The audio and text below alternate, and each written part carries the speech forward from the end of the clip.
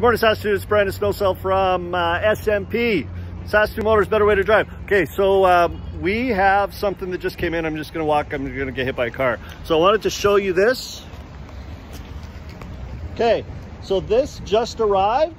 This is Trailblazer, brand new, 2020. Actually, might even be 2021, I better check. But it is brand new Trailblazer, check it out.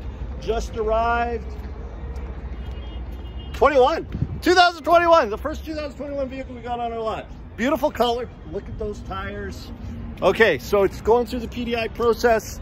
Come on down, see me at SMP, better way to drive.